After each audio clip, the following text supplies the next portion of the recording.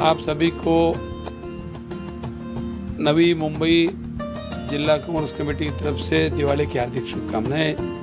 दिवाली आपको सुख, शांति, समृद्धि, वैभव, कृति, मान सम्मान, खुशहाली की जाए, ऐसी मैं माता लक्ष्मी के चरण में प्रार्थना करता हूँ।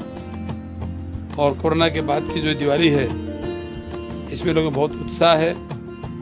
यह उत्साह से बना रहे, ऐसी शुभकामनाएँ देता हूँ मैं।